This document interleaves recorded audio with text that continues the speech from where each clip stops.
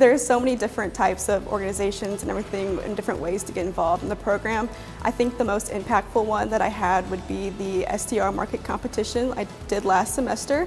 Uh, Dr. Cho led us and a few others to New York, where we had studied a hotel market months in advance and then presented to industry judges. This was a terrifying experience, but it was so fun and I learned so much. You learn how to be professional, work with others, how to prioritize, and traveling with others I don't exactly know. And it was so fun to get out there and experience the industry beyond the textbook. So I really got to see industry people who were working within the um, whole hospitality industry, and it made me so excited.